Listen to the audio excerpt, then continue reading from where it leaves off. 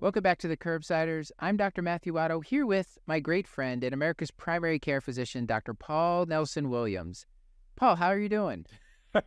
little little English on my name there. I, I liked it. I'm good, thanks. How are you? I'm good because we're about to talk about some some pearls on common ear complaints from episode number 413 of the Curbsiders with Dr. Angela Peng. And Paul, you know, I, I think as primary care, we're all very comfortable taking a history. So with the ear, you just want to ask about prior infections. You know, are they sticking anything in the ear? Have they had prior surgeries? What and baro and risk for barotrauma, which would be like jumping in a pool. Are they flying all the time? Have they been scuba diving recently? Those are just some of the things you might ask for. On the exam, Paul, because we're going to spend most of the time talking about management, but I did want to talk about the exam. Am I good? If someone comes with ear pain, should I just look in the ear and, and we're good to go? Well, I, I mean, as per usual, Matt, no. But I mean, it's the ear is tricky. I feel like a lot of, especially learners, are terrified of the ears themselves. So yes, you're looking in both the ears. That's a great place to start for someone who has ear pain and looking the unaffected ear first, just for a basis of comparison. I feel like we all know that kind of stuff. But I think Matt, the larger point that you're making is that I don't know, like the plumbing up here is just very complicated, and not all ear pain is coming from the ears. It can certainly be referred jaw pain. There can be TMJ uh, dysfunction. There can be God base the tongue malignancy. I think it came up as I mentioned. There's just lots of things that can refer to the ear. So don't don't stop if you look in the ear and don't see any caused etiology because there's lots of stuff in the head neck. Palpate your palpate your, your lymph nodes and, and really do a thorough head exam because uh, lots of stuff can actually cause ear pain in and above the ear itself. Yeah, I look in the ear. I look in the nose uh, with the speculum, looking for you know what's going on in there. I look in the mouth and throat as well, and and like you said, palpating for for lymph nodes. You don't want to miss like a malignancy or something. So yeah, definitely look at that. Maybe you can throw in some allergy testing if there's a lot of like sinus, you know, allergy type symptoms going on, and then CAT scan based on clinical suspicion. But that's usually not something I'm doing at a first visit.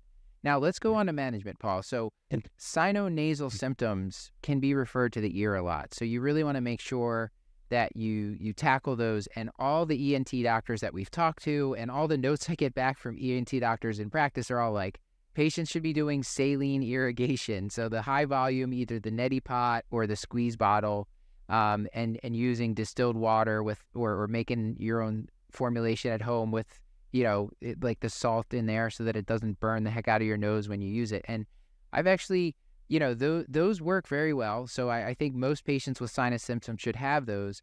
And then, Paul, for something like an otitis media, she mentioned, you know, yes, antibiotics, but did she? What else did she say might might be helpful in treating those patients?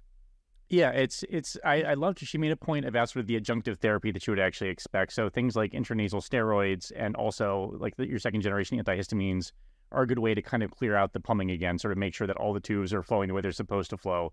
In addition to the systemic um, antimicrobial therapy that you'd be giving for it, she did make the point that for otitis media specifically, the drops aren't going to be all that helpful. You know, with the exception that if there's a really irritated TM, she might give a, a topical medication, but I feel like that's maybe above my level of comfort. For the most part, the sort of adjunctive stuff that we have a lot of comfort with, uh, the steroids, uh, intranasal steroids, and the antihistamines are things that we should be prescribing along with their antimicrobial therapy. Yeah, and she mentioned sometimes she'll even do like topical uh, antihistamine like azelastine, and uh, maybe even oral oral steroids if the person's really, you know, maybe if they've tried some of these other things already and they're really congested, inflamed, whatever, she might do oral steroids. I think it's always reasonable if you've tried some of these first line things, you know, the the nasal steroids, the saline irrigation, they're not getting better. Adult, I always refer to because, you know, at some point you need someone to take a deeper look in there, and, and sometimes patients are going to need a surgical procedure to help out.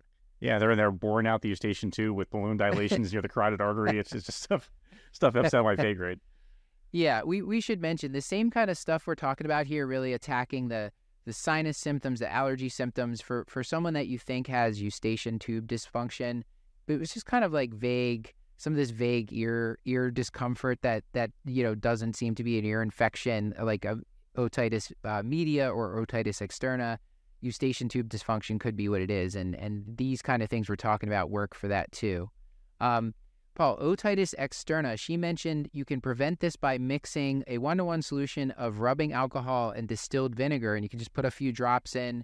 You know, let's say you're a swimmer and you're you're getting swimmer's ear. you can use that afterwards as like a prophylactic uh, measure afterwards, which is you know a lot of people have that kind of stuff hanging around their house. It's a neat tip. Yeah. Then this is not like a huge ear lavage. She did make the point. It's just a couple of drops. Like you're not washing Yes. the whole thing out. Yeah.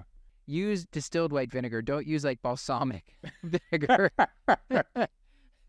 and then, Paul, have you ever had the problem with the pricing of these fluoroquinolone slash dexamethasone drops? And did she have a tip for that?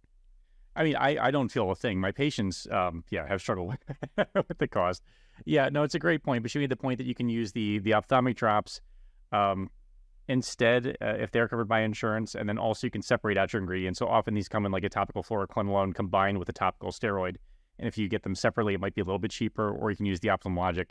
So you can use. She made the point you can use eye drops in ears, but you can't use ear drops in eyes, which I thought was a, Yeah. a really helpful framework. Right. Yeah, because the the eye drops are like pH balanced and sterile, so that you can you can drop them in the eye and not have burning or damage. So of course you can put them in your ear, which is a less sensitive area. Um, she did mention that like if someone has a perforated eardrum, like TM, then uh, you wouldn't want to use just the over the counter drops in the ear. But if they if it's an otic or ophthalmic formulation, like prescription formulation, then it would be okay to use it if indicated. Um, she told us, Paul, I don't know if you remember this, she has a large Q tip in her office that says do not use. So tell your patients not to use Q tips. If they have wax in their ears, uh, she recommends a couple drops of mineral oil, which you can do either weekly if you're just trying to prevent wax buildup, or if someone's got like some cerumen that's impacted, they can do it like every other day and come back to the office in a week or two. It'll make the clean out much easier, or it might even just spontaneously come out, like just with that. It might kind of just like slide it out of there. So I thought that was pretty cool. I, I had not, uh, that had not been something I'd heard. What about, uh, Paul, what about uh, tap water or peroxide? I know a lot of people use like to use that to flush out ears. Yeah, I was a little bit surprised. There, there is not wild enthusiasm for the ceruminolytics, which apparently just soak in the cerumen and cause it to expand, which, which feels like a problem. And the t- even the water can be not great sometimes because apparently it can get behind the cerumen and then just cause an otitis externa, which is also not what you want. So yeah, it sounds like we should not be just irrigating willy nilly uh, unless we're really sure what we're doing that we can actually get this stuff out of there. So it, this might be Right. as much as fun as it is to do. This might be something to leave to the experts if you can't get it done with mineral oil. Yeah. So you put a if you put a ton of water in there, make sure you get the wax out and the water out. Don't send them home with like a bunch of water still sloshing around behind the wax. Um, and then finally, Paul, what if somebody has really itchy ears? That that actually comes up a lot in primary care. What what do we could what do we do for that?